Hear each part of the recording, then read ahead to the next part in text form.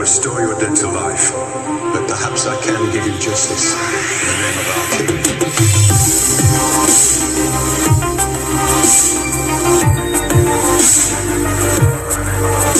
Așteptăm un nou episod Urzeala Tronilor și de data asta vorbim despre eunuci, cine i-a inspirat, despre bordeluri și orgii. Hai că o să fie o ediție tare. Iarna este în sfârșit aici, în sezonul 8 al Game of Thrones și o armată de 10.000 de soldați nepătați așteaptă în fața Winterfellului pentru bătălia vieților. S-ar putea să degere pe acolo pentru că nu prea au nici penis și altceva, nu știm cum fac pipi și mai ales întrebarea de bază, cum a făcut virmele cenușiu dragoste cu Missandei? O armată de-a dreptul impresionantă, nu-i așa? Dar trebuie să aflăm care-i treaba cu eunucii. Pentru că George Martin s-a inspirat din realitate, din istorie. Și eunucii au existat de-a lungul istoriei. Au existat și armate, și funcționari, chiar și orgii sexuale cu eunuci. Însă, în Game of Thrones, în primul rând e important să reținem că nepătații au suferit ceva mai mult decât o simplă castrare. Le-a dispărut tot de acolo, pentru că la vârsta de 5 ani se tăia și se ardea tot deși ci că există mai multe tipuri de oameni castrați, printre oamenii medievali, ideea unei forțe armate extraordinare formate din eunuci, precum armata lui Daenerys, ar fi părut absurdă, chiar imposibilă, din moment ce băieții castrați de tineri nu dezvoltă musculatura necesară pentru a deveni războinici. Cu toate acestea, eunucii reprezentau o parte importantă în multe societăți medievale, precum Constantinopol și până în China antică. În plus, deoarece urzeala tronurilor este inspirat din istoria omenirii, putem să ne uităm din nou la trecutul nostru pentru a afla mai multe. Se pare că ultimii eunuci care au fost produși în calitate de funcționari în cadrul unei societăți și guverne au murit în urmă cu aproximativ 100 de ani și datau din timpul dinastiilor chineze și al Imperiului Otoman.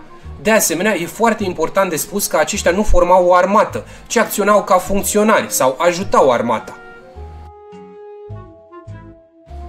Cuvântul eunuc provine din două cuvinte grecești îngrămădite care fac referire la pat și la a păzi patul, pentru că eunucii erau folosiți odinioară ca supraveghetori în harem sau ca și funcționari la curte. În anumite culturi, tocmai această trăsătură îi făcea dezirabil pentru anumite funcții, în special în prezența femeilor frumoase din haremele sultanilor și califilor. Mitul eunucilor în lumea antică este unul prezent chiar și astăzi.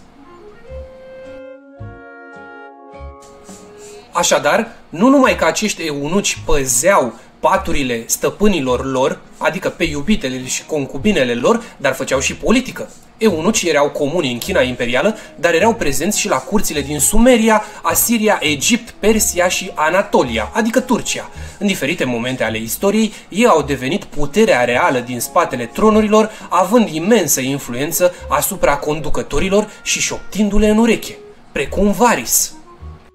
Iar în urzeala tronilor nu întâlnim doar o armată de eunuci, ci și alți oameni foarte influenți, precum Varys, Tion Greyjoy, care ajunge fără voia lui eunuc, Tyrion Lannister poate și chiar Jaime Lannister într-o anumită privință. Totuși, în ciuda acestor slăbiciuni percepute, multe dintre aceste personaje triumfă. Atunci când evaluăm imaginea eunucilor din Game of Thrones, trebuie să abordăm și chestiunea centrală a modului în care societățile construiesc ideea de masculinitate. Revenind la urzeala tronurilor, cei mai puternici adversari ai hoardelor de Dothraki din serial s-au dovedit a fi așa numiții Unsullied, cei nepătați. Aceștia erau sclavi unuci, antrenați să fie soldați perfecți în Astapor, locul lor de pregătire unde se urmărea transformarea lor în niște războinici extrem de obedienți și de iscusiți pe câmpul de luptă. Tot ei trebuiau să păzească orașele libere. Datorită pregătirii specifice, acești bizari războinici erau luptători desăvârșiți. În plus, din cauza faptului că fuseseră castrați încă din frage de pruncie, de la 5 ani, nepătații nu se răsculau niciodată și mai ales nu jefuiau sau violau. Venerau o zeitate feminină proprie, al cărei nume era păstrat secret, dar care era cunoscută sub numele de Doamna Sulițelor, Mireasa Războiului sau Mama tuturor gazdelor. Paralelă deosebit de interesantă cu zeița Kali din panteonul hindus, venerată de asemenea de către războinici din India din antichitate până în zilele noastre. Pentru completarea creării soldaților nepătați, autorii le-au adăugat acestora și unele caracteristici proprii unor războinici din antichitate, precum hopliții greci, ai lui Alexandru cel Mare sau legionarii romani, dar și bătălia de la Cohor prezintă unele similarități cu cea de la Termopile.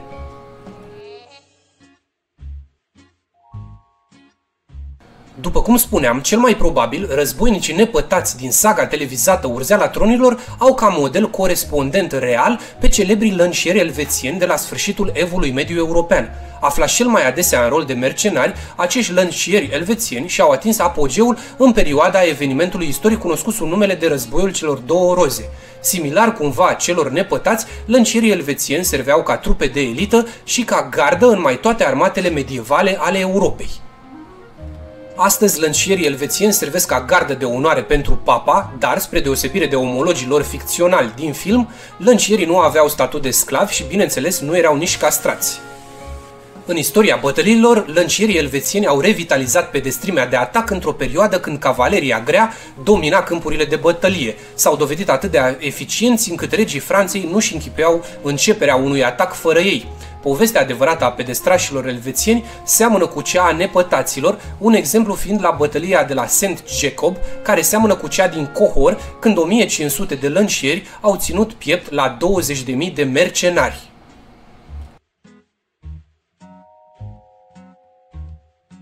O altă sursă de inspirație pentru serial și nu numai ar fi eunucii zeiței Cibele de la Roma din anul 200 înainte de Hristos, când preoții ei s-au transformat singuri în eunuci pentru a o sluji. Societatea romană a fost oripilată și fascinată. Fascinația amestecată cu teroare. O asemenea desfigurare era văzută ca un semn al estului degenerat, unii l-au considerat ca fiind jumătate oameni, iar alții au interzis romanilor să devină preoți ai cultului. Însă, între timp, în Roma antică, eunucii au crescut în popularitate. Băieții aleși pentru frumusețea lor erau sclavi pentru oficialitățile curții. Eunucii plăceau ambelor sexe, iar poeții susțineau că erau aleși în special de matroane. Împărați romani ca Domitian, Nerva și Adrian au încercat să dea legi împotriva creării eunucilor, dar unii, precum Nero, făceau adevărate orgii cu eunuci sau chiar se căsătoreau cu ei.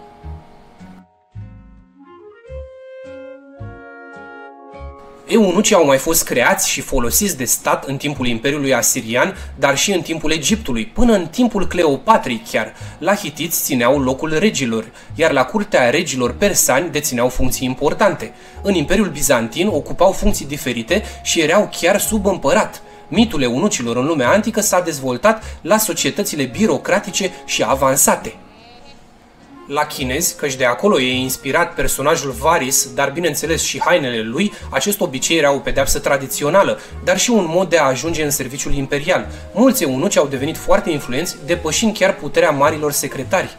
Unii o făceau de bunăvoie, erau considerați cei mai buni funcționari civili, atât de buni încât au pornit chiar și o răscoală. Eunucii au fost prezenți chiar și în India, unde astăzi numără aproape 2 milioane de indivizi.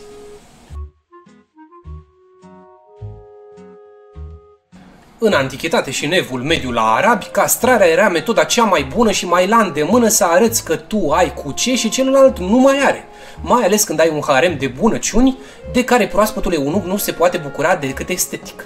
În evul mediu, mamelucii și-au dat seama de anumite calități vocale pe care castrații le aveau și au pus să dea de șase când venea inamicul sau să trâmbițeze din gâtlești dimineața când trebuiau să scoale o tabără întreagă după o noapte de beție cruntă mai ales că e cunoscut faptul că vocea unui castrat adevărat rivalizează cu o trompetă. În secolul al XVI-lea, mai mult castrații erau importați din Spania, care era cam arabă pe atunci, iar în Italia erau băgați direct în cor, corul bisericesc.